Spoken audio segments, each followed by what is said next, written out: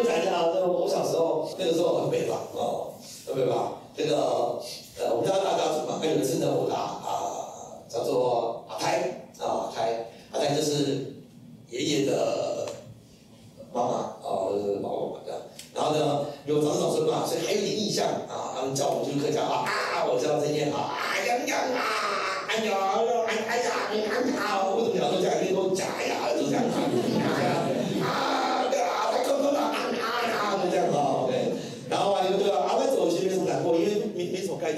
可是呢，我爸是这样说嘛，哦，他们就一排人大带笑的，那个不好意思坐在那边，啊，一直哭这样子哦。问题是那时候还很小，其实没有什么样的记忆，就这样。都听我叔叔讲的，我叔叔都是站在比较后排的，比较哭的样子哦。他那时候我大概才三四岁，然后那时候还有妹妹也很小啊。然后呢，我前面还有这个表哥表弟，就这样。我一般小朋友在那边就这样。哦，我们第一次看到我们自己的长辈哭成这样，那奇怪，你觉得？那知道吗？长辈哭成这样，我真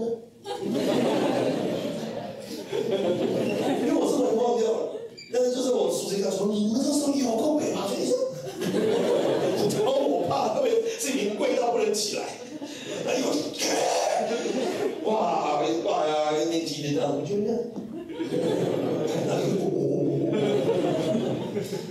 过，对不对啊？还说不能哭，不能哭，不能这样。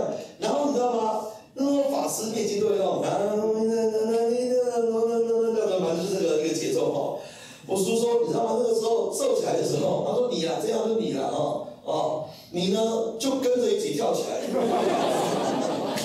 就跟着一起跳起来。我完全没有印象哎，那个时候呢，我叔叔他们叭叭。，rap 的感觉，知道吗？他说你自己跳就算了，你还叫你妹妹过去。然后我就跑到法师那边最前面那一排啊，然后表哥表弟跟那前面有有好玩的，对吧？前面看得比较清楚啊，就像哥现在在摆一样，这样子这样子看着这样子，然后那一排看你们在摆哦，我们这样，哦，好开心就对了哈。哦，我爸本来泪流满面，一直啊，一抬头，我呀，但是不能站起来，脚都麻掉，好嗨，好嗨，哇，好快哦。然后那个叔叔在后面笑得要岔气，要岔岔气，然后跳个空档，然后把我四个抬起来，哇，有阴影啊，有阴影。可是我觉得，哎，这个很好玩的一件事啊。然后当我们长大，笑就变少了。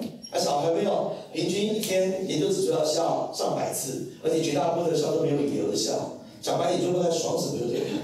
可大人好像长大就变得比较快乐了，所以那个时候我就一直看着我爸妈好像不是很快乐，我就觉得我发誓我长大以后我不要当那种不快乐然后讨人厌的那种大人，所以我就希望我孩子可以自由自在快乐的笑。那有的时候家长回答，可不可以回答？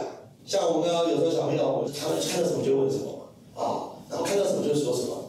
像有一次呢，我带我们家小朋友出去啊，他出去呢，就呢路上有一个啊中年，但是他年纪看比我轻，就头发比较少啊，胸肌凸就这样，呃走过来，我女儿就很北吧，哎，光头，光头，我说随便起来这，是秃头，好像没有比较好，没有没有没有，他没有比较好哦，然后我开始不要乱讲话，就这样子，上车，OK 啊，然后小女儿就很爱跟他聊天啊，那大女儿现在应该看 iPad 的多了啊，好，小女儿上来后，小白那个，哎，跟他开车的那个，哎，少年白，头发比较这样子的，啊，一过去，啊，到哪边？我就讲例子啊，小女儿就说爷爷，爷爷，不是爷爷，是头发比较白，白头发，是爷爷啊，爷爷，小尴尬，开车时应该别看别哭了吧。我看人说不要讲话，不要讲话，不要不要回答，都不要讲这样子。然后但是有时候，哎，到过年有没有？过年见面说叫人啊，叫人啊，他说爷爷这是谁在叫人啊？都孩子都懵了。那个人要不要讲话嘞？哦，什么时候该回答？什么时候该回答嘞？然后到长大了，我辅导一些个案就跟我说，老师你要珍惜，孩子现在有话都一直跟你讲。到青春期的时候，到最后你问他问题，他就说我可不可以不要了？压力不想跟你讲，所以现在我也觉得，也许他们的问题无法回答，而且他会很美白一直说话，可是我是不是真的应该珍惜那个他们还愿意看着我。爸爸，爸爸是什么？爸爸为什么叫曾彦航？为什么叫欧爷？对啊，爸爸认识弟弟吗？可是为什么弟弟长在男生身上？哦，这个很难解释哦。对啊，但是我就不想跟我爸以前一样说，你早就懂了啊，因为他长大就会乱问别人，然后到时候他一定会在很诡异的状况之下才懂这种事情的啊。所以一样为了怕救了，他就跟我说可不可以不回答。最后我以前好几次考不好，我爸就说不要来，不要来，好想回家。可是没考好不能回来，但是我发觉到，到长大了，我就很想去住外面。然后如果可以，我也想说，那我可不可以不回来？不要回来。那我现在一直觉得是这样。现在有时候一急一急的时候就说出去，好关门，我觉得好伤人，因为你小时候的画一样。现在你把他拒门外，以后你拉回来，他就不回来，啊，他就不回来了。所以呢？呃，我没有什么高深的理论跟经验可以跟大家分享，甚至就是我自己的一些感触跟体悟哈。所以呢，我最后理出来一个小小一些心得，啊，小小心得，就像之前有个台剧，你的孩子不是你的孩子，看完以后很有感触，但是很有趣，我一直推荐给我太太看，太太一直不能理解，我的孩子不是我的孩子。那是谁的孩子？我当时也不是很理解这种说法，但是我看到不同也是课题分离，就是啊，我们的孩子，嗯，不是我们的，那是谁的？他们自己，他们自己有自己的人生。啊，但是我太太最近也是因为我都不在他们身边，有时候他们就是在管功课啊，我太太就前这两天那个默默发考卷，对啊。好，然后我就说你考怎么样？他说怎么样？粗心来，干嘛什么的？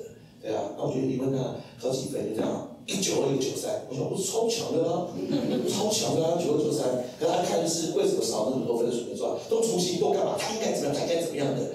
那我说我看他眼神中，我知道一件事情是，他把孩子当他的作品，然后他觉得那个扣分是扣他的分，他觉得是他自己不会教，没教好，觉得他好辛苦。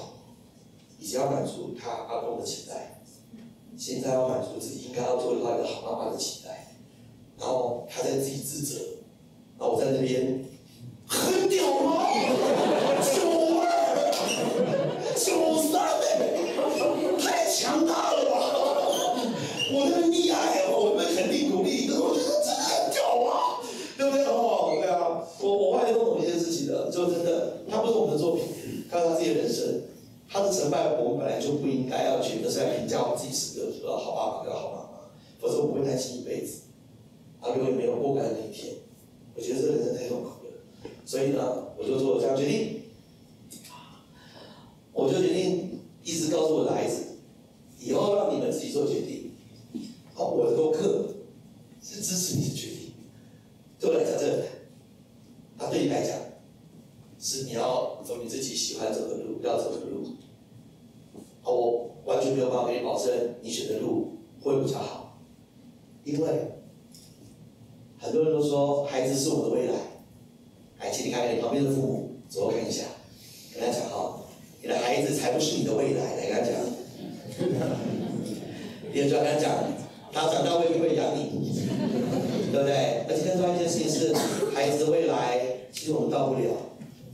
他们离英国都没有那么久，他们去的地方我们去不到，我们看不懂，我们不知道什么样对他们比较好，他们自己负责，跟我爸爸跟我说的一样，长大以后要自己负责，我更不知道该怎么负责，以前都是听话没有照做的，所以我说以后你的课题是你自己要做选择，我会学习支持。然后我不会一定要你去做成什么样子，你本来该就该活出你美好的样貌。后来发觉这些话，什么好希望爸爸跟我说的，会跟我的孩子说。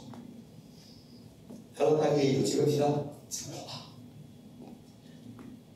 所以。